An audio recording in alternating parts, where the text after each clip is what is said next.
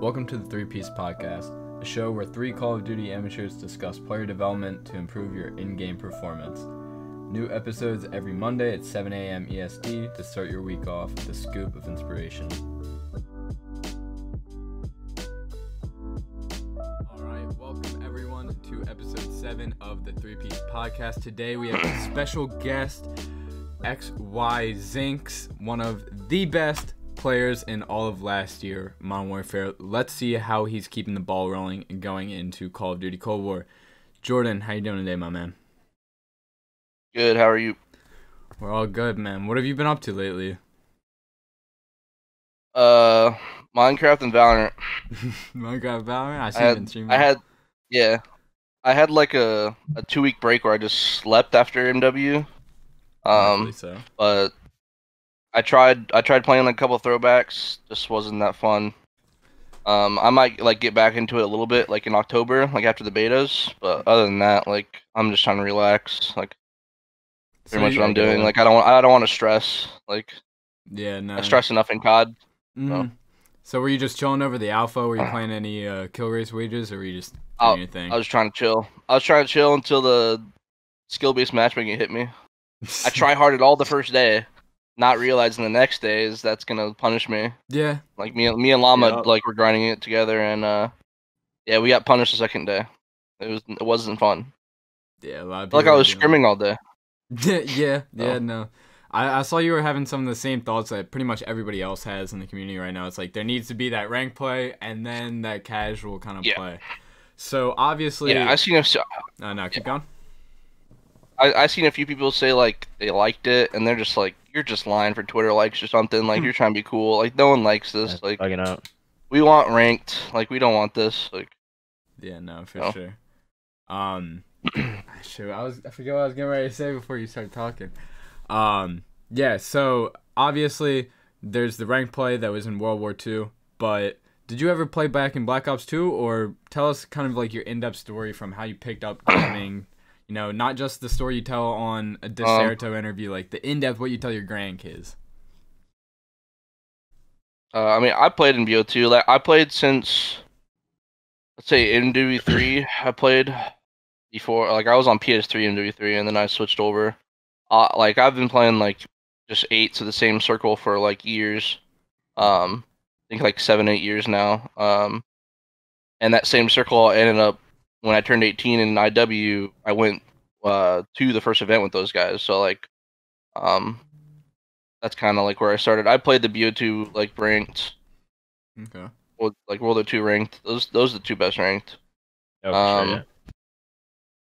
Yeah, no, like I tried playing in AW, It didn't really work out, and Smite came out, so I just grinded Smite all year. Um, in BO3, I almost went to I think it was Orlando, UMG Orlando, that got canceled by the hurricane. That would have been my first event, but I ended up going to Vegas, and I just started off from there and just made my way up. and uh, I mean, I should I could have gone to the LCQ and um Infinite Warfare, but I decided to play H1 competitively for in some idiotic reason.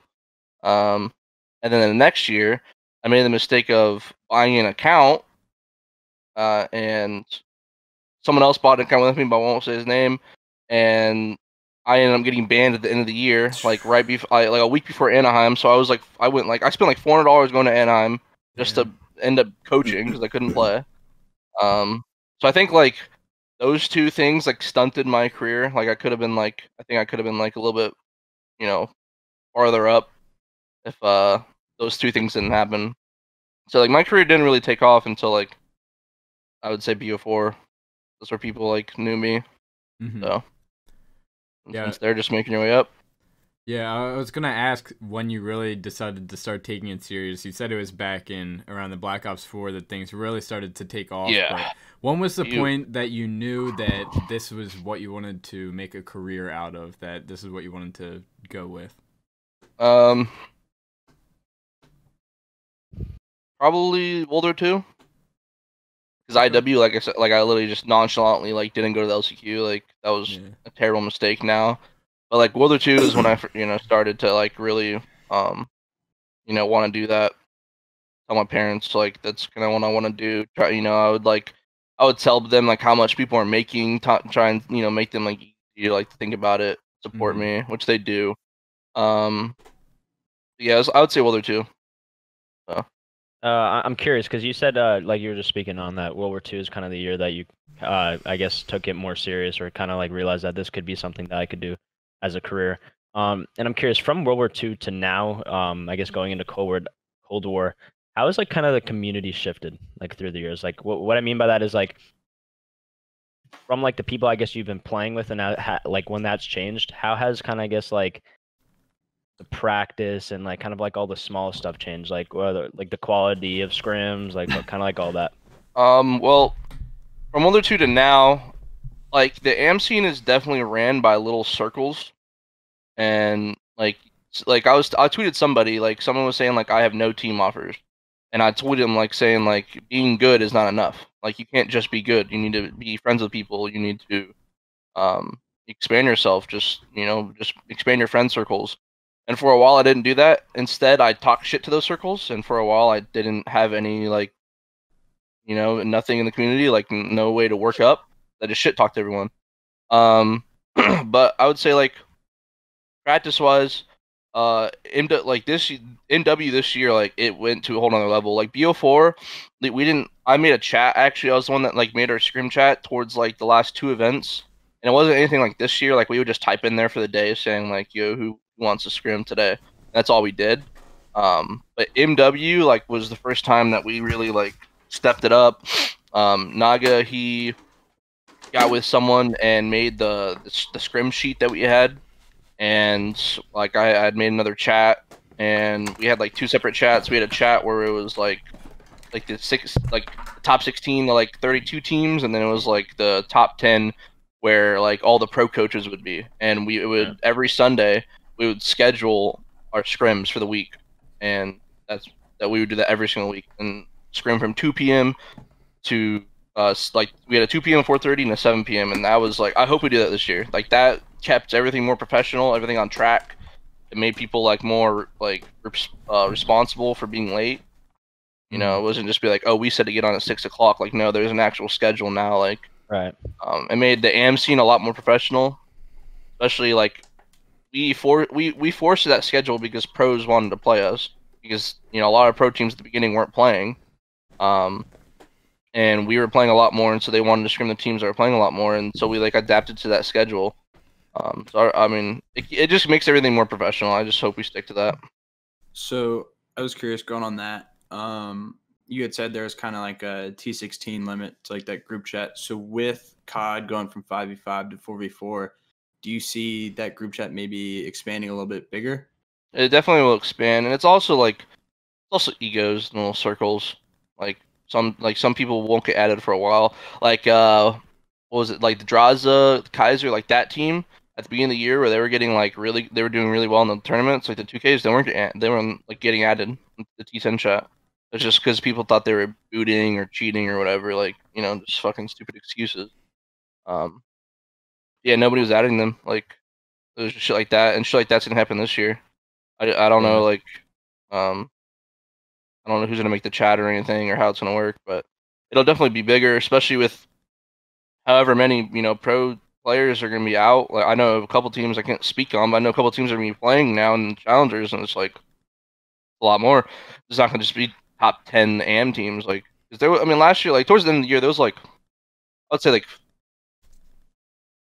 seven to eight different teams that could have won champs, and then there was like fourteen different teams that could made it like actual, actually interesting. Like, so uh, it's definitely gonna expand. It's not gonna be just T10 anymore. Or if it Yeah. is, it's gonna be all the pros just like singling people out. So, with it being a lot of new people coming into the scene and a lot harder to um, kind of get into those groups, like you were saying, it is a lot more about politics and stuff. What are some ways that people that feel that they are getting blacklisted can still try to come up, if any? Or do you think that the only possible way is to kind of get on the good terms with those people in those chats and to make it up through that? Um, you definitely need to like make friends. I mean, like I, I see players that sit there and they just, like they tweet out they have no offers, and it's the same people who are like just stick to themselves. Like I stuck to myself for a while, and I finally expanded. Like I expanded my friend circle, and it got me to where I am. Like just knowing this certain amount of friends. I've almost quit two times in MW, but I had certain friends pick me back up, and I'll go win a 2K with them or something, or just do good with them. Like, um, but like I see these good players, they're really good um, and did well last year, and they don't have any offers because they just they're not friends with anyone else besides their little circle. Like, so. Yeah, so obviously the the circle plays a big part into it, and obviously your gameplay also plays a big part. But what do you think Yeah. plays a bigger part? There's always kind of the debate name over skill, but what do you personally think is someone at Name. such a top level? Name. friend, friendships because literally honestly most most most of these AMs are about around the same skill like i mean there's a few people that are uh, you know like awakening there's like mac there's people that are you know the notch above but mostly everyone's around the same skill and it, it really just is like friendships i mean there's i mean uh, uh, almost all the people who got picked up last year was through a friendship like yeah they had the skill but it was through a Yeah. friendship like there wasn't really anyone I think besides Awakening, who got picked up because he was actually like like skill, It wasn't someone vouching for him or a friend. Like Mhm. so, um, I think I think like who you know and like your stock and everything. Like like I think your who you know is more important, like your friends and whatnot. You know, I, I would definitely agree because at least my experience uh, being in the COD community for a while. I mean, this is my first year um, being 18, so I've never actually competed at the major level. But from the things that I picked up, at least in my opinion, um, I'm sure you have your own opinion on it, but it feels a little, it feels like AMs are kind of railroaded and like t- their options to kind of make it, and I feel like they're always fighting like an uphill battle.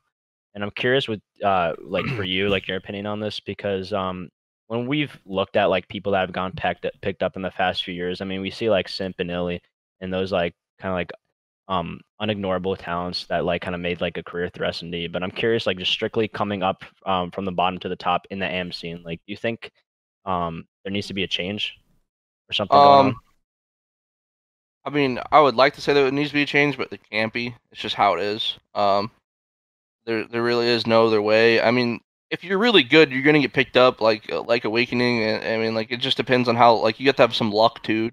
You know, like I've had teammates all around me start getting picked up. I have team with Kismet. You know, uh, fucking Awakening. Like it, it's just like, um, you, you might have getting lucky too. Um, yeah, like I don't know. You What- think, what- uh, oh, shit. Do you think um kind of like doing what E6 did back in IW, just like kind of sticking like a core four and just like grinding it out is like the way to go? I feel like that doesn't really happen often. Well, but now it's the way to go. I would say like when I was coming up, I would I didn't want to do that. I, I don't think anybody really like wants to do that. And, Like like people have a bad idea of like trying to find their perfect team when they're a nobody or have like no stock. Like like when you're when I was like making my way up like through IW World War Two, like I essentially would like and I mean some people don't like this, but I essentially would be on a team and um, I wouldn't be playing for my stats or anything, but like if I played against a better team, I'd make sure they recognize that so I could be on a better situation in the next event. And that's what kind of what I was doing. I was just like what I mean by working my way up. Um, but now like at this stage, like you you want to have that long term like team. Like it's I mean it's better for yourself. It's better for placings if you are a good team. Um, and you, yeah, you definitely do fun. Like I think when expansions happen, like let's say that FaZe team happened this year, the FaZe academy team, like those guys would all, I think, would all guarantee spots. I mean, I, I don't know what they're doing now, but like let's say they don't have spots and they do that all this year and have success like that this year, um, uh, they'll all guarantee spots because I mean, apparently there's gonna be like four to eight expansion teams next year, so like a lot of spots are gonna open up. Um, and I don't see, I mean, there's gonna be a lot of these pros that are coming down that'll have those spots, but a lot won't. A lot this 4v4 going like going from 5 to 4v4 it's it's kind of and i mean a lot of people aren't going to like this but it's kind of like uh it's going to show which players are kind of playing past their time. Um and a lot of these i mean a lot of people are going to come down in the m scene and just think they're going to run everything and it's really not going to be like that. Uh, it's fucking it's a pit down here. Um yeah So, with it being that pit, and there's so much room for competition and so many other names to be picked up by these organizations, what ways do you personally think that you bring assets to an organization, or what do you feel like you Um, going for you? Well, I mean, not much now, but I really want to grow grow it this year. I couldn't stream a lot this year uh, in MW, like just because of roster situations or like I don't really like streaming on a team that's like either one that doesn't have someone that doesn't want to stream, which I had at the beginning on Aspire, or like mid year where um I was like I was being an ass and I was still growing as a player. Um, and then when I got to my really good team at the end of the year, I couldn't really stream much because we had a freaking different every different fifth every other week. So when that Mhm. week I was ready to stream, that Sunday I find out I have to get a new fifth, and I don't like streaming when I get a new fifth. You know, I like to get in with that uh, that person first. Um. What, what was the question you asked me? I totally I was, just I was bringing saying like, what are some assets that you bring to an organization? Oh, organization? like you, brand, literally Mhm. brand. It's uh it, the whole mental thing. It's your brands. Like it's so huge. That's why this year I want to work on like my brand streaming, the backline. Like I want to work on all that. I mean, it, it definitely grew this year. I mean, I you know random people were tweeting backline or tweeting frontline in their clips. Uh, like I, I definitely like where I'm going in that direction, but I need to grow that a lot more for a franchise. Like I need to not be an ass this year, stay consistently on the top as a main AR, and just grow that brand. If I grow that brand, like that'll guarantee me more of a spot than like my actual skill. Mm-hmm. So I need to do that. So that's what I have going for me, and a lot of people need to have that going for them or start working on that, and they don't. Um, I see a lot of players that are just overlooked for because of that or because of their friendship or whatnot. Mm-hmm. Um, yeah.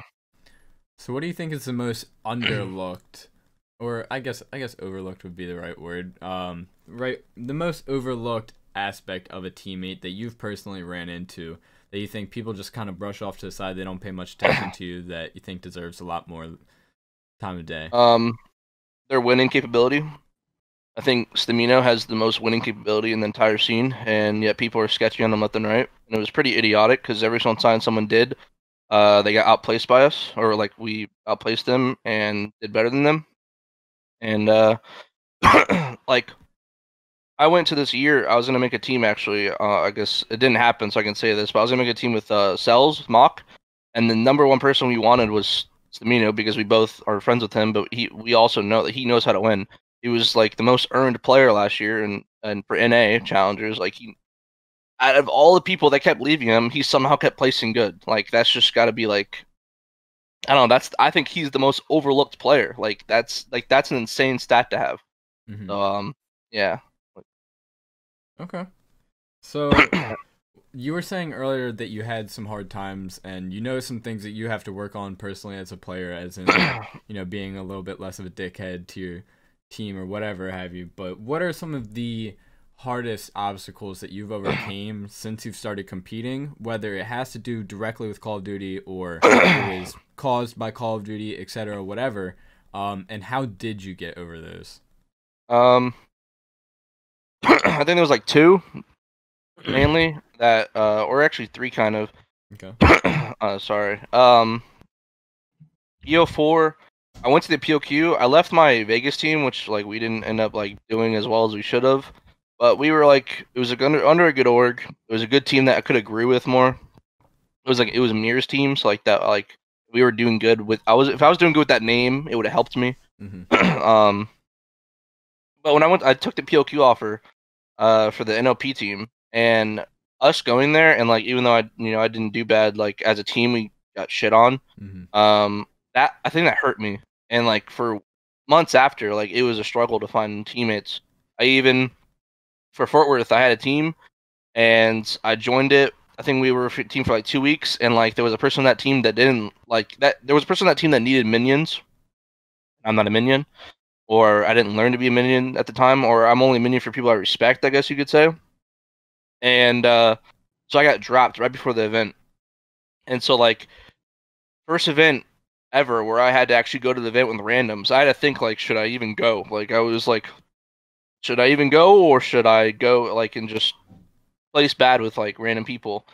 And I ended up going, and that was like a real that was a low for me. Like I mean, I had a good time with the people I went with. Um, I have nothing against those guys, and I mean I didn't even place horrible. But it, I mean it was like it wasn't that. It, counting the old placings, like it would have been bad. But with like the pros out and everything, it wasn't. It didn't look that bad on paper. Um, that was a low for me. Like I was like contemplating like quitting then, like even not even going. Um, and then after that, like a month after or whatever, I like took a chance on, or they took a chance on me. But uh, I played with like Evasion and Swirly, and I became like really, really. Those are like my best friends now. Um, so like that was a time, and then two two times in MW. Uh, at the beginning of the game, I went into it with uh, the first 2K. I was actually with Sam and Nova and a couple others, and that team like we got it did pretty decent, but that team like broke apart. And like after that, I was stuck with like running with like the just the worst kind of teams. I, I was getting egoed by people that who just got last at champs this year. Like it was bad. Like I Yeah. I wanted to quit. Yeah, and then uh Evasion was just like, yo, we're gonna we're gonna drop Majaden here soon. Should uh you should come play with us. And that's another thing of like friends right there. Like if I didn't friend that right there, I I, I probably would have quit. And those guys picked me up on a Thursday and then we win the, the 2K like that weekend. Like and then I was I was set. I was back. Like so I almost quit there, but a friend a friend circle that I kind of made back in BO4 just saved me. And then mid year when I was on the 6G team with Awakening and them, and I was a i was an ass hat and I got dropped because of it. Um, after that, and that and I got dropped, and like it was like two weeks later they announced like the all nine event, so it wasn't 1Ks anymore, and it was like six tournaments straight where I was just getting like T16, T16, T16. So I was just stuck in that bubble. Like that that 6G team was like my stock at the time was like my stock was good enough to like get me on that team, but after that, like nobody wanted to play with me, and I was stuck on this T16 bubble, cycling players, cycling teammates, and um, sure, like I, you know, I befriended a couple cool people, but like uh, I almost quit then too, and then finally I got I got the offer to get back on the, the team uh, with Stamina or make a new team with them, so. Yeah, those are those are th- three times I almost quit. Was- that those two times this year were pretty rough. Uh, like I was overthinking everything and it was bad, but I mean, it ended up working out. So So I'm I'm curious. Uh, the difference between your teams from the beginning of MW to the end of MW. Uh, could you kind of like shed some light on some of the preparation that you did, other than like going through scrims and bombs, like Oh. kind of like the like the things that you know the average person wouldn't think of doing. I actually was talking this the other day. I was talking this with Llama. Um, I actually like, I cannot believe the way I prep now for tournaments. Like, if I would have been doing that the, this entire time, I, I could have been doing way better. I mean, like the POQ and BO4, I don't think we even watch VODs, and that wasn't even like, that wasn't even crazy not to do. Like with like those people I was playing with and everything, and we like we didn't even think about it, and we just instead just fought with each other. It was just a trio fighting with each other. Um, but like, yeah, I mean, at the beginning of the year, though, I mean, those guys, that Aspire team, like we, I mean, we prepped. You know, we we would watch vods. I mean, there was a couple times where we were kind of like undeady to watch vods, or it was kind of hard to get to watch vods. But like, I mean, the prep was still kind of good. But like that, uh, that that update that happened, the Dom update, like that really screwed us because we were like 300 point clubbing teams in Dom. Um, and then that uh that meta change hurt us too. I mean, we had me and Dave Patty, like, uh, and I think Dave was like one of the, I think he was like a top three mini R this year, um, when he was running a mini R, and um, I think that really sucked. Um, but I mean, like the prep compared to then to now, it, it was insane. Like the like the prep. I mean, it got to the point towards the end of the year where we're like, it was normal to be watching like a VOD every night, like the last few months. And I mean, I like that. Um, I mean, I wish I've been doing that forever. I mean, there I, I, there was events for years, like B, World War Two, IW, freaking BO4 even, where we were going to events and not watching VODs, and that was just like normal at that level of the community that I was in. Like, Right. and now it's, I mean, I, I like how it is now. So if you were to sit down and make a routine for your team as to like if we do these steps every day, we got all the bases covered and you know, we're still trucking along, what would that be? Um, I think just what we had this year, like Okay. or towards the end, like just get on. I mean, I like to. I mean, I so like what I do personally is I'll like wake up at twelve every single day. The scrims are at two, Except for today. and so that gives me like two hours to be ready. and like so, like the night before, I try and sleep like three, four a.m. I, I try and sleep as long as so I can have eight hours. Like Mhm. because no matter what, I'm waking up at twelve. Okay. So it's up to me to go to sleep at a certain time. Um, but I would just do the same. Like, just I would want everyone to be on at least an hour before, because I don't like people using the first map or the first two maps or as warm up maps. And I had I did have teammates that did that. Um, and I, I don't really like that. I like everyone to be warmed up, so those two s- maps aren't wasted. Um, and just go to three scrims and just watch a VOD after. Either watch like uh, we would watch either. Um, sometimes it depended. Like if we had a day where we just, just like shit on everyone, we would still watch and just make sure that we want to copy that. So uh, that was that's be that'd be the same thing. Just do your three scrims and watch a VOD after. I would like. I mean, I've had a couple teammates who don't like doing this, uh, but like I personally liked at towards the end of the year doing two hard, uh, two respawns and then the S and D scrim. Um, but I mean, couple, that, I mean that gets repetitive every single day. Few teammates didn't like that. Um, but we were also, I think we were the best S and D team the last like four months. I mean, like I wanted to keep that up. I mean, So we've kind of been on the topic of preparation, and I know on we did the podcast with Gunna, um, I'd kind of asked him what he feels like as a coach, like he kind of what kind of stuff he takes off the players' hands. So I was kind of curious from your perspective, like the player perspective, what having a coach can help with, because I know a lot of teams may deny coaches um, because they think they know it all and like they don't need that extra set of eyes. Um. Yeah. So like, honestly, a coach is what like I mean, a coach is extremely useful. It does he he does a lot of stuff that the players are too lazy to do. That's like, but they are needed because the players still won't do that stuff. Um. I mean, like the recording the vods thing isn't that important. Like anybody can do that, but like making sure keeping the team on track of like uh what needs to be worked on like a lot of teams and a lot of good teams still just get on and they play through the motion. They just try and quote unquote win the scrim. Um, and so like one thing Derek would do was actually like uh, he would actually have us focus on something that we need to work on on a map. Or uh, at the beginning of the week, he would have a like an actual like he, in our Google Doc, he would have something where it would be like what we need to work on this week. Um, stuff like that. He would keep track of like map stats, like for win loss. Um, so like that with that weekend, we could you know change our vetoes if we needed to. Um, yeah, I mean that was mostly because when he joined, one one thing I told him that we didn't need was S and D because at the time we were like two events in, three events in where we didn't lose an S and D. Um, but like towards the end, when like obviously we need to start saying, changing things up, that's another thing. Like he would link us a bunch of pro S and D vods. And we had this like doc that went around uh, through a couple teams where it had every single pro VOD on it. So like every single match of every tournament. So like if you want to go watch, uh, like at the time like LEG was really good S and D, and they like let's say they played like FaZe Academy. That's a really good VOD to watch for S and D. So we would go and click on that. Um, and that was like supplied by him. Um, I mean like that he would hit up a lot in like that kind of way. Google Doc, updating Google Doc stats, numbers Right. making sure we're on track of what we need to. Uh, getting in, getting in between of like someone that had a little little pissy fit or a little argument, you get- get in between, but that wasn't the case that much. So- So uh, I- I'm curious. Do you think any pros like do you think pros are doing more or something different than the amateurs are, or like the top amateurs are? Or do you think they're relatively doing the same thing in preparation? Okay, uh, definitely do the same thing. Um, uh, I think that I don't know the saying, but it's like something like you can't catch up to someone running by walking, or I forget how it wor- I how it goes, but like you, I- you can't catch up to the pros by doing the same thing. Like you need to be doing more than them. Which I mean, a lot of people, a lot of us are. Like they're only doing like sometimes they only scrim once a day or two times a day. Or I mean, I had the pro sheet where I could see the scrims, so I know what teams to hit up, and like a lot of the teams were like taking breaks a lot.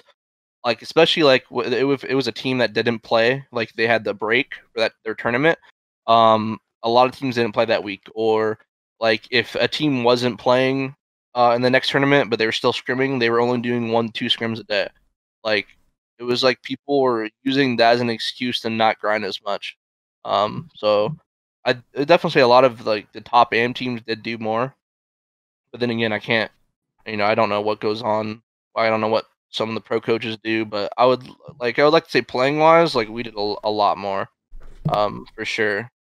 And yeah, like you know, playing or working smarter, not harder. But like, if you're working way harder while you know, we're not just scrimming or playing idiots. Like we're actually doing the work that needs to be done. Um, so I would definitely say a lot of people did more. Um, I'd like to think. So. Gotcha. So, what are some ways that you think organizations can help teams that you personally have never seen that you think should be done? Um, I mean, it just depends how much money an org has. Mm-hmm. Like, there's gonna be a couple orgs that are gonna be popping up that I know about. That are there's one that's like that's showing that they're gonna have a lot of money. They're funding people flying out, buying them like places in Texas. Like, I, I would like to say uh, like having that would be nice from an org, but like as, in the AM scene, that's not like Mm-hmm. that's not normal. Um, other than that, I can't I can't really think of anything like else I would want an org to do. Like, I think all the orgs I've had kind of do minimum. Like, I mean, it would be nice to have someone paying for my apartment, but that's not really going to happen or anything until I get a contract. So, Mm-hmm. um, yeah, Yeah, the investment with AM teams for orgs is just not kind of not worth it anymore. yeah, like, um, I mean, yeah, and and it depends on the org too, because I had a lot of orgs just trying to take money from us from champs. Like when we were looking for a new org, like they were trying to take way more than what they were going to pay us, and it's like, uh, at least go even with us. Like, uh, there were so many orgs trying to take money like from us. It was weird. Yeah, that actually perfectly leads into the next thing I was going to ask, and that was with your placing in champs, what are some of the things that you've learned outside of the game that you know are Call of Duty related still that you, like I said, just learned from this whole experience lately? Um, I guess work ethic, like, Mhm. because that would be like the only only thing really. Like, I don't I don't do anything else. Like I just I just play the game. Like um this is my main focus. Um until this is not my main focus, I won't be doing anything else. So I, I really that's I don't I can't answer your question. Fair I enough. say work ethic's like the only thing I can say. Like Hey, it answers it, man. So, So uh, this is jumping around topics a little bit, but I'm just curious. Um, I actually want to get all your opinions on it because anyone who's uh, listening, I'm sure, is interested. But uh, um, you guys all played the Cold War Alpha. I didn't because I was I wasn't able to. I was overseas. But um, I just like if but all of you can name a couple things that you guys th- think that you let's just say name one thing you liked and then two things that you think need to change going into the next COD. Uh, we can start with you, Zinx. um I liked I liked the M4. I like the the the I think that'll be I mean unless they touch everything, but we only had three like three actual ARs available to us. But I think like right now, given the three ARs that were given to us, like that could be the main AR again. And um it, it fit me a lot. Like BO4 I would say was the only game that didn't fit me. I had like it, best way to explain it is like I had to play to the ICR min, uh play style. The ICR couldn't play to my play style. And so like slower mini R's like Frosty or Mock, like they were better than me. But like Older Tube, MW, like this game, like I can be a faster main, which is where I excel. So that's one thing I would say I would like those them for. Two things, um, uh, like okay, I'm gonna say two things that they they already haven't said that they're gonna nerf. Um, so they need to change the the skill based matchmaking, and I would say find a way for competitive to like I don't know. There needs to be a way to make maps like smaller. Like Miami would be a good map for competitive if it wasn't so freaking big. Like, I mean, then cut off the beach or something. Like on the map's too big. Um, and that's kind of a waste of a map that looks really good. I think. Uh, yeah, those are mine too. um, All right, John. You know, with the switch to PC, and it kind of backs off of what Zinx was saying, is I think that custom maps could be a really big thing, and that it there really could be like in CS that big community that pro players are playing these fan made maps. You know, a lot of these maps are just cut down versions of other pre game maps that, like I said, the pros end up playing. So I think that community based maps need to be one of those things that you know they talked about in Black Ops 3 that they were gonna do on PC, but they just never I gotta remember that. went any further than that. It was like, why talk about it and not go anywhere with it? So they've clearly thought about it, and I don't see why they shouldn't. Um, obviously, everybody's issue right now is the map design. Uh, not to the, the largest extent, but you know, what I mean, people do kind of get old of the same old map design. So why not let the fans make the maps that they want to play and let them choose if they want to play it or not? So I think with PC being one of the major things, I think competitive could do a lot of that. Um, I think obviously rank play should be one of those things. I think it's going to be out, I'm sure, but um, also like camos. I think people should be able to create their own camos just like paint jobs were back in the day, except be, be able to share them around to people. And, you know, just little things like that. People want some new freshness to the game that doesn't take a, a lot to do. You know, just changing your Customization. camo, just little things like that, just make you want to play the game even more, bro. And you know, people burn out on COD especially so quick, and I think little things like that just add up. What do you think, Colby? Oh gosh. Um, shit. I can't think of anything. All right, so one one thing that I like, two things I dislike. Um, one thing I liked was the gunplay. Definitely, uh, it felt like most guns were balanced and kind of like how it normally is. Was that one gun that kind of stands out?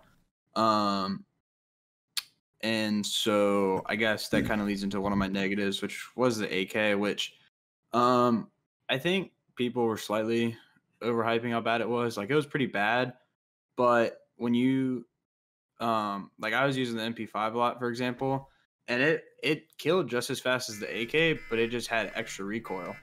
Um so like one of the things that I was talking to John about over the alpha was like everybody's like this needs like a damage nerf and it's like like the damage is fine it, in my opinion it just feels like it needs more recoil so you can't use it kind of like a maddox for example um and uh, second negative, man.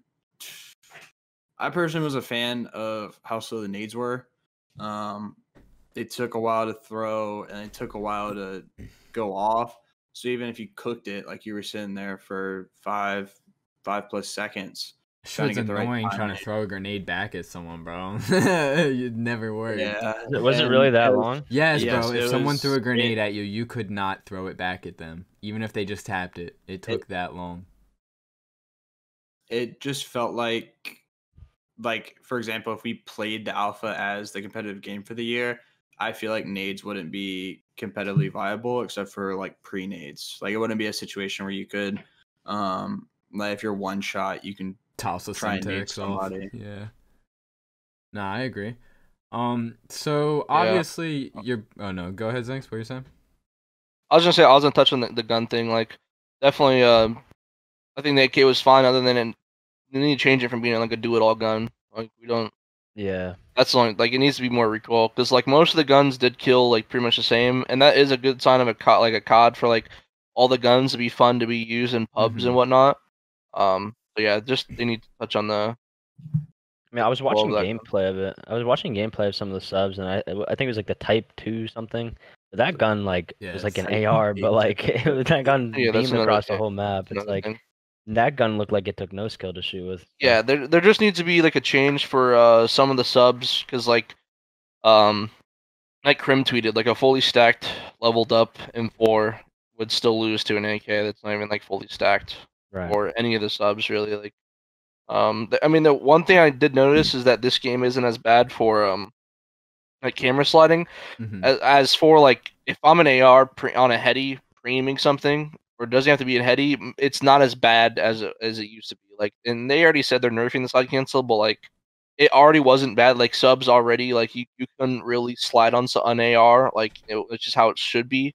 Um, so I did like that.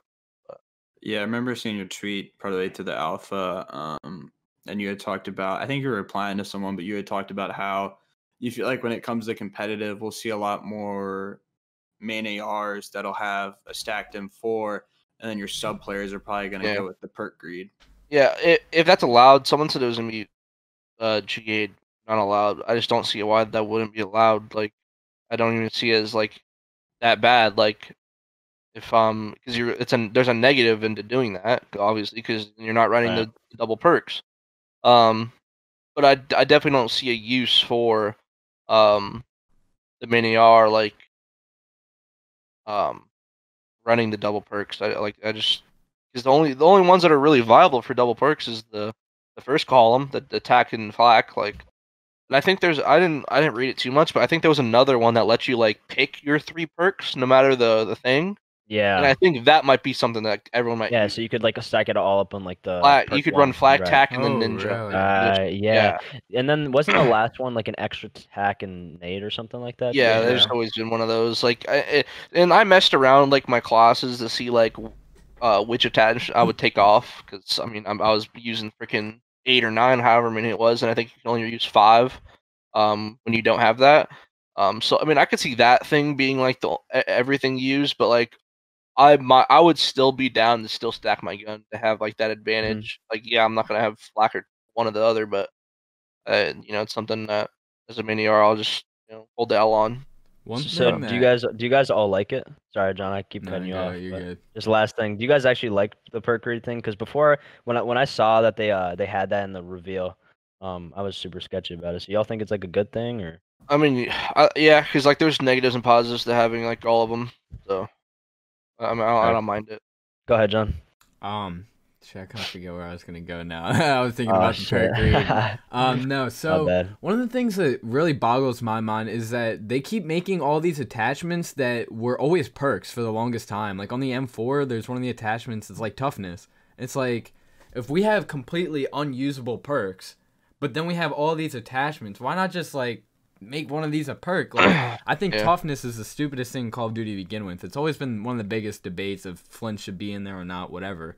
So it's like the fact that do you think it's more balanced that the AR is an attachment for toughness rather than every player being able to use it as uh, a perk? Because I didn't get the AK Max, so I don't know what attachments the AK had, but Um, I know, I don't, and I don't know about the subs either. But I mean, like, and nothing to touch on that too is that the M4 had an attachment to let you drop shot. mm-hmm. Uh, like I, don't- I'm I'm sure every gun has that, but like I don't know. imagine im- imagine you don't want to use that so then like i mean you're gonna be eh, i mean i tried it and like when you drop shotting's fine but like when you stand up it's like bo4 like you put your hand on the ground so it's not good um uh but Did like imagine that becomes they were like YYing though?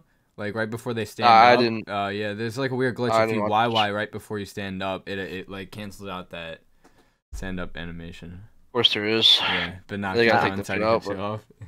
Yeah, I, I want to answer that question actually, John, because Yeah. uh, I'm not sure if it was just asked towards things or not. But regardless, um, I think that because like with MW, there's a crap ton of attachments. I mean, there seems to be like a lot coming in this game as well. Like I see where they're going because they want to be able to customize the gun, right? But you just said something that kind of like made me think of something. It's like they're taking attachments that should be perks, and why not like like you said, just make a bunch of perks, make it more like because in every COD, I mean, like it's literally the same like five rotation of perks. Like cold blooded, lightweight, flak, tack, and like dead silence. Do you know what I mean? Yeah, And then like there's like always that one like random one that's thrown in. Why not just make it a bunch of uh, perks and then actually have attachments mean something towards your gun? I don't know how. I, I think going for it because I feel like most of those attachments aren't even gonna be used. You know, we're we're gonna stick to the same six attachment rotation like we always will, and then we're gonna keep it at that. we Yeah. need we need the ghost system back Yep, all those perks I agree. That shit was fire. I agree Like, with that. I don't I don't I don't like having all these different attachments. I think that's really stupid. Um Yep. I think there should be a pick ten. Um they're making it they're making things way more complicated than it needs to be. Um Yeah. But I mean I hate looking at my percentages of my gun, trying to figure out like what's like Yes, bro. Yeah, right. Oh my I god. cannot do quick math like that. So, what are some ways that you think that they can implement change to our community to keep people from, say, burning out is a very big issue in our community, especially compared to other esports because of the repetitiveness of our game. So, what are some ways that you think that we can shake that up while still maintaining the core competitive integrity of Call of Duty as it is? Um, they need to not change things. Like, yeah, like, like that's that's the thing. They think that we don't want the same thing, but like, thing like prestiges, like, why did why are prestiges out? Like, like that's something like to keep people back in. Like, we want prestiges. Um, one thing I want, at least for competitive, at least uh, in this aspect, is what Valorant does, where in um in Valorant custom games, you can choose what server you want to play on. Mm. Like they have like nine or ten different servers, and that's and, like if we're going to PC, there is no excuse that Activision can't do that. Um, now that we're on PC, that's one of the advantages of being on PC is that we can do something like that. So that needs to be a thing that, in just intriguing more competitive people. Like, Okay. but I mean, yeah, public wise, it just needs to stop changing things that like no, no one wants changed. Like, pretty much it. Okay, so with the way things have gone the last couple months, and especially the MW season things, you know, 2020 is the year of change. Um, we don't have LANs like we did before, and local LANs are obviously kind of out of the picture as of right now. So, what are some ways that you think that we can bring more of, um, I guess, a desire for people that are outside of the league, you know, not looking to go pro but still want to compete? What are some ways that we can bring some of that competitive aspect? Um, honestly, this year was I mean when they started doing the online events, um, oh, there was an influx of people, um, like especially the, like for the people that were high seeds, um, we went from we went from 250 brackets to 500 brackets again because the only time 500 brackets happen are at the beginning of the games, where everyone tries to come back, um, and uh, there was a lot of influx when that happened, and that happened for a while. There was an extra round in the tournaments, 500 bracket. So honestly, just need to have like the same system as they did last year. Um, just, I mean, I don't, I didn't mind it being every weekend, but they could do every other week. I think every every like weekend was what was why it was so stressful. I mean, it depends also on the game. Like if I enjoy the game, then I might not care. But MW, it was it was a lot it Mhm. was pretty it was pretty stressful um only having one off day which was for my team if uh if we made it to sunday our off day would be monday we some if we didn't for some reason make it to sunday then our off day would be sunday like and sometimes that one day wasn't enough um Yeah. but yeah i honestly think they could just do the same thing Mm. probably like i mean more money would bring more people in i definitely think uh with how many with how many events there were and how much money there were supposed to be in those, like if you think about it, those events are split among all three regions. Mhm. When like originally those were gonna be, you know, ten plus K, fifteen K is like just for here. Mhm. So um maybe more money into it. But uh because like I could get I could get like third in cup or like yeah, I can get like third or four I can get no, I can get fourth in a cup, that's what it was. I can get fourth in a cup and still make more than the second place in a homestead. Like which I understand that that was split up for the midseason event, but like I don't know, that was Yeah, I think I think that's the one aspect they could have different is just make all like there's no cups, just like all homesteads, but make it more money, like make more money to each one, a little bit better. Yeah, I think I remember seeing somewhere that um the whoever it was that won like the two v two gunfight, whatever that whole thing that was, was like a they made they made more money than uh Triumph did from challenger Yeah. finals. Yeah, like that's just Uh, so in the face. so kind of speaking on maybe trying to increase the prize pools, do you think we could ever see crowdfunding into Call of Duty? I mean, that's what I was watching. Uh, I think it was like the Hecz and Astro, like their podcast, whatever, and they talked about that. It, it needs to happen. Um, Oh yeah. I mean, just for the pro scene alone, because if it, it improves the pro scene, it'll improve our scene. Like, and I think this year will be improved just because of how many pros are going to be down into challengers now. There's going to be a lot more people with a say on a lot of these things. So, um, I think it'll be better for us this year. Um, just depends on uh what they can do. But yeah, crowdfunding would be huge. Um, I would love for that to happen. It's successful in every other game that does it. I don't know why we don't do it. Activision, they're, they're a billion dollar company. They can afford it. I don't know. Yeah, I mean, what D- Dota 2 got up to what, like 40 million last year or something like that? That's ridiculous. Something insane. Yeah, I mean, Call of Duty has so much potential with all the stuff they could do. It just like Activision doesn't want to take like I guess like the leap. yeah, I think that honestly, I mean, it depends. I don't know how many people actually play like Dota and League. Um, I know it's a lot, but like if we had crowdfunding, it would actually like. I'm pretty sure we could compare. Like we could, you know, go toe to toe with those prizes. We definitely get bigger than CS:GO. I don't see us we're nowhere near Mo- any of the two MOBAs. Those guys, those are like, because I are like once you actually get into like the community, you kind of realize how big it is. Like it's Yeah. freaking- like their cinematics team is like, Oh yeah, I've seen the dragon. dude, holy shit, bro. They have so much like money poured into their game for just like extra shit, just to like brand their game out. It's not even to make it good. Like Yeah. I'm telling you, the balance team is still good in their game, and it's the worst part of their whole like their whole team. It's crazy how much money goes into that game, and Yeah. Call of Duty. You know, even good. though like yeah, I, I, Call of Duty doesn't put as much work into that type of shit, but even then, I feel like COD can surpass CS:GO. Like I genuinely. No, you definitely could. The fan, the fan base, especially. I mean, eh, Yeah. like that's the thing. Like everybody who owns a console owns Call of Duty. Mhm. It's just like it's something that just everyone Especially has. kids our age, college Yeah. students, man, high school. Yeah. Uh, uh, just everyone has it. Like, I mean, maybe like kids now, it's a little bit different, but like, all- I mean, just mostly everyone has it. Like, uh, Call of so, Duty was I- the yeah. original Fortnite. Everybody knew about it. Everybody Yeah. wanted it. yeah, we could definitely be surpass CS:GO, but I mean, I don't know why they don't do it. I don't know like any of like like legal stuff or anything why it would stop it or why it can't happen, but they need to do it. They're already making too much money, so So, what is your favorite thing that another esport does that COD doesn't doesn't currently do that you want to see COD do? Like the number one thing. um, probably crowdfunding. Yeah. Fair enough. Maybe that's more of a game thing. Um, I mean, I- I guess like like what CS has for um like FACEIT or what I said about Valorant with their Mhm. competitive games, like the Mhm. servers. I mean, that stops so many issues. Like, there's so many issues every single week where it's like hosting issues. Like, there's some teams that you can't play, you can't stream against just because of the hosting situation. Like, I mean, for a while, like when we didn't have Gentroid, who was Texas, and we had like our only central host was like Pentagram and um like Kentucky. Like, some people said okay to that, and some people like just despise it. Like, um, I mean, this year, like I, I won't have that problem, but like a lot of people are gonna still have that issue, and that's uh, people love to make it. And that's not excuses. Like people like to make excuses about that host, like stuff like that. Mhm. Like with servers, I mean, it just it s- stops that issue. It stops a lot of issues. I mean, uh, I think that's the one of the main reasons for PC this year is at least for the pro league that they're gonna do like server Oh, things yeah. like that.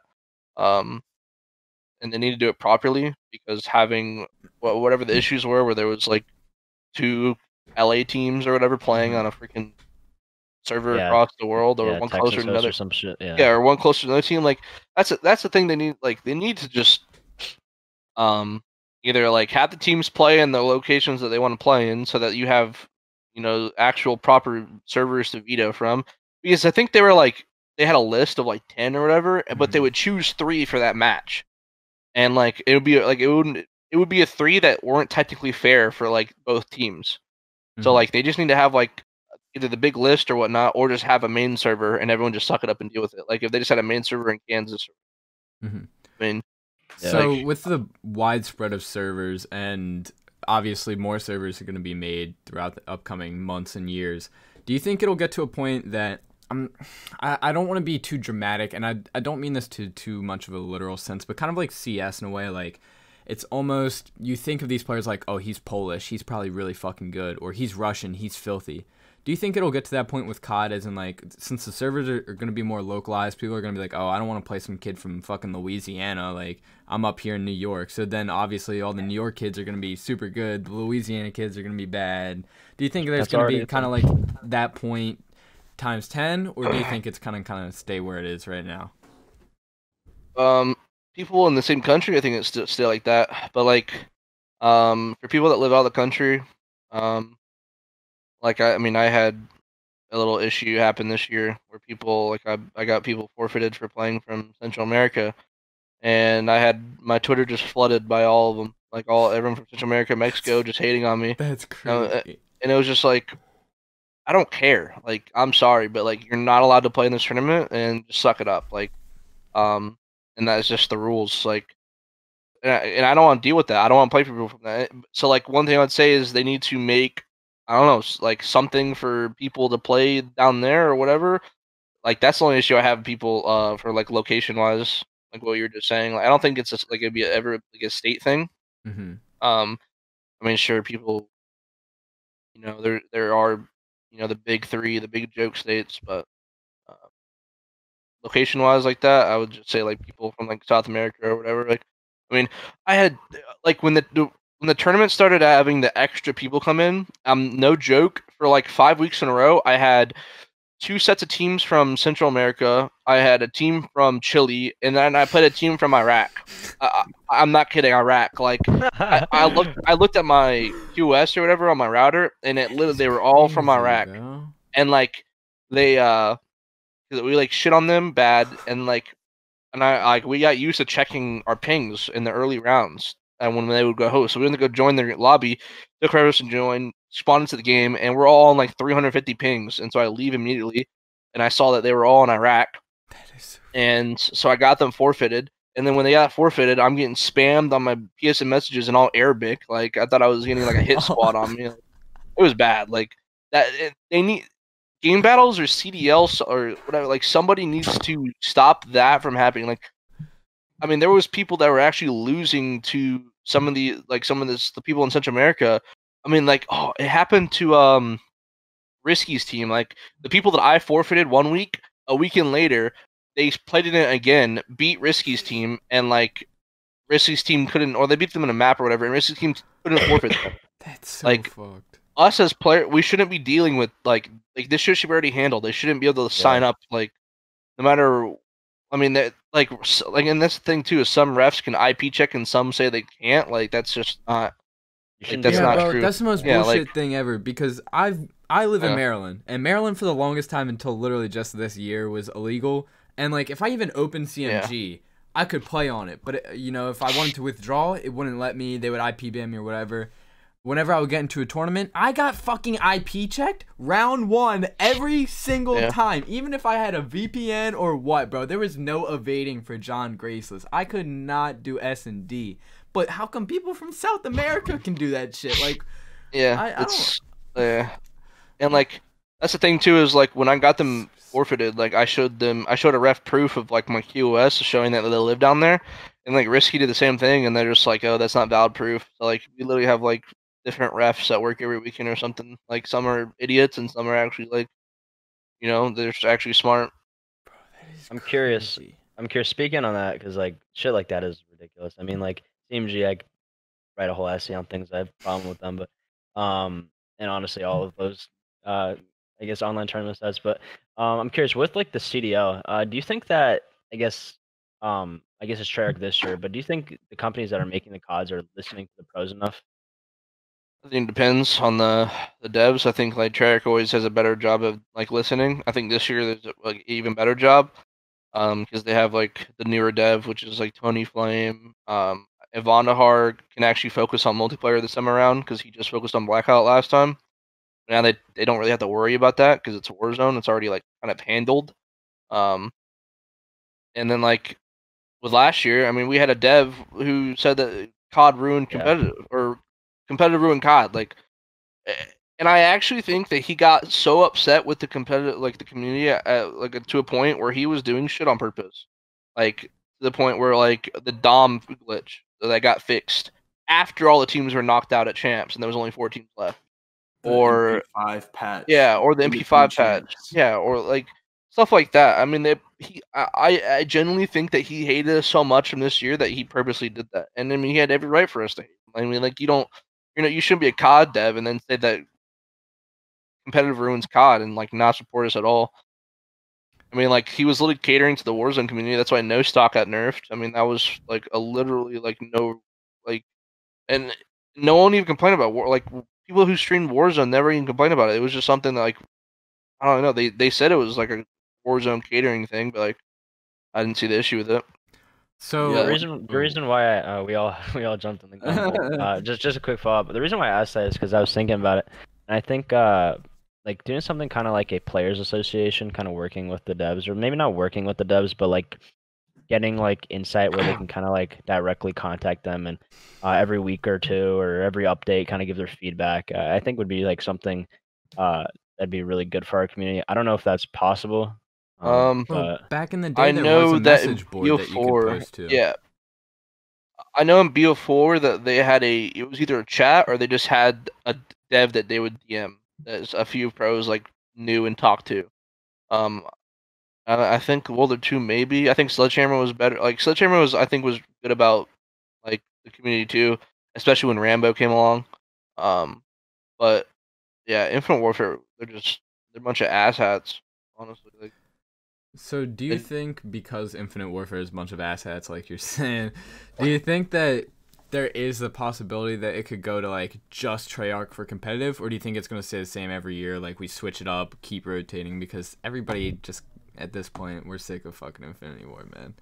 uh, I mean, like I don't even I don't know how the contracts work or anything. I don't know how that works. Um, I mean, it would have like it would have to be in a thing where you just play the COD for two years until the next Treyarch's out. But it's like it depend Like, what if that? I mean, I don't know if I could have played BO4 for two years. Like, personally for me. Um, but I don't know. They need to fire that guy. fire Cecot. Um, fire that one girl too. There's a bunch of them because it, it's not just Cecot. There's a bunch of them that didn't like competitive and that didn't help us at all. Mhm. So um, and they need to do a, a whole withdrawal of all of them. Just hire new people. I don't see that happening. Um, or that maybe they go a different route. Maybe, if it depends on depends on Activision really. It depends on like how much they actually care. Mhm. If they actually care, then um, they could probably get something done. They could like Yeah. I don't know, change, have them have different attitudes about it or whatnot. I think like a lot of the, like those guys like, like I think he said that stuff because he's like tired of us like nitpicking the, the game, Mhm. and I feel like, ima- like it's like imagine you make something and then you have like a whole community like just like trashing on it, like you're gonna get pissed, like you're gonna get tired of that shit. Um, Mhm. uh, like it's also on them to be able to handle that and take criticism. And that guy definitely couldn't. That guy's a man child. Yeah. Yeah, one thing I uh going back on the one dev that said uh esports ruined COD. One thing I don't understand about that is I feel like there's just so many financial opportunities within esports. Like I was on Twitch because I was gonna go watch um the Rocket League. It's like their own challengers. Um, that was this past weekend, and I click on the esports page on Twitch. Did you guys know there is esports for Farming Simulator? Yeah, I seen that. I've seen that Shit on is so Twitter. crazy. Two hundred thought it was a fifty k joke. tournament. It was I was a joke. I was mind blown. don't Yeah, I was gonna go pro how in that and then get picked up in the league. Yeah, right. That's a, one of the things I wanted to ask you about. I forgot to is that whole opinion with mental and everything. What do, what do you feel about that? Um, so I actually know that he is good. Mhm. I remember him being like nasty when he tried playing in BO4. Mhm. Um, and like, yeah, like it's a slap in the face, and I, they were they were actually gonna pick up somebody that I know, Mhm. and it's a huge slap in the face to him. Damn. Um, but I also understand like, like I forget who tweeted it, but it is a business thing. Like, and he is gonna end up paying off. Like that's the Oh, thing. yeah. Like it, it was a low. It was a low. Yeah, it was like Low risk, high reward. low, yeah, like um, or no, it was a, it was like a big. It's a big risk because they, a lot of people don't know, but then like the people who do know that he's actually good, um, and, I mean it's gonna pay off, and he's gonna be end up worth more than what they paid, like or what they're paying him now. So I mean, like they're locking him down. So I mean, it was pretty smart.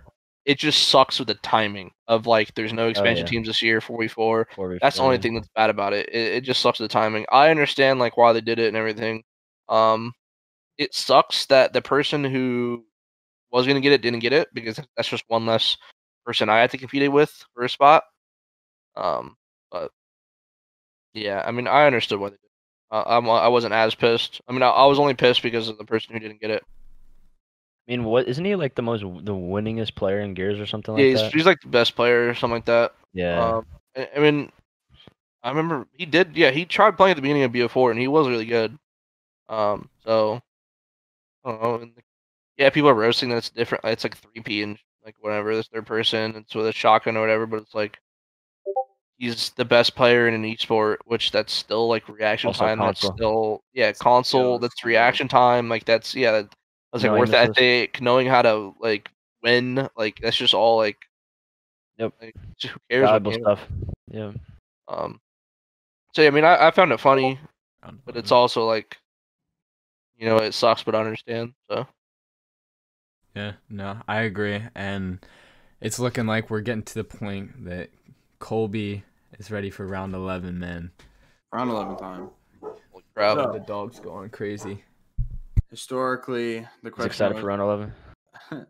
historically the question has always been uh, like what are your three off-season tips but i think i wanted to change it i was kind of curious over years of playing what is like your most memorable playing moment so it could be winning a certain game it could be an upset it could be winning a certain tournament etc Um, I'll say two. I'll say on LAN and then online. I think LAN was probably uh, I'd say like Seattle and World War Two. I think was like my best event ever. I don't know what was on with me. I was on like two hours of sleep, and I was just like it was like forty five plus kills every hard point, ten plus kills every S and D. I was just like on another level. Um, I was getting like back to back like turn ons on people. Like like it, it, I don't know. It was just like that was the best event I've ever had playing. Um, and we like lost to E6 barely, and that was the one event that E6 like I don't know if you guys watched back then where E6 like actually finally had like their run and did really well, and like that could have been like us like like the only good team they played in the open. Um, but yeah, that would be like my best like on like on LAN thing. Online probably would be uh this last team I had like we only won once. I mean, I, I technically could say twice because of the six G team, but like we were consistently really good, consistently doing good, and like how us not losing an S and D in like seven tournaments, and like that team and how good we can stay consistently having like four different fifths. Um, that was a really good time. And I, I enjoyed that team. I felt like that was I was finally on a real team. I mean, my Aspire team was a real team, but those guys like that was an actual real team where I was a real teammate, not an asshole. Like, um, it was the first genuine team where like everyone's like supported each other, trusted each other. Uh, we were down so many times, like in a in a series or whatnot, and came back. Like I remember we were we were terrible, like dog shit, just complete fucking trash for two weeks in a row because of in certain and we figured it out. It was like right before champs too, but we got we got fourth, and then we came back the next week and got top sixteen. That was the like the only time we actually did bad with that team, and it was just because of like roles and whatnot. We figured it out right after that. Um, but like that that when we got third, that was us purely like just clutching up, being down. Oh, we were down 0-2 in like three different series that tournament and can't reverse swept. Like I mean, even in champs, like we were down a lot. I mean, we were down one three or one four against UIU, uh, map five at champs, and came back and won that. And we ended up winning like six fours. I don't know six four six five, but like oh that team like that was a genuine like real team that I, I was a part of, and hopefully at the end of this game it'll just be like that. All right, man. Thank you so much for coming on. You had a lot to share, and I hope Yeah. everybody listening took a lot from this. Is there any last words that you have to say for anyone listening or watching today? Um, yeah, I mean, like people ask me like, you know, how to uh, how to come up and you know how to get into it. And does like I would say this is doesn't matter how good you are, just don't be an asshole. I was an asshole for like two years, and it didn't do good for me at all. It, it hurt me extremely. Um, you can look at people honestly like like Gunless. Like, I mean, he is known to be a bad teammate, and it doesn't matter how good you are, you can be the best in the game, and you still get dropped. You know, so um, I'll just see act like a normal human being. Don't be an asshole. You know, that's the best thing to say. All I have experience on it, so All right, man. Um, I appreciate it so much, man. Have a great rest Yep. of your day. appreciate. I mean, yep. All right, man. Everyone stay safe. Peace.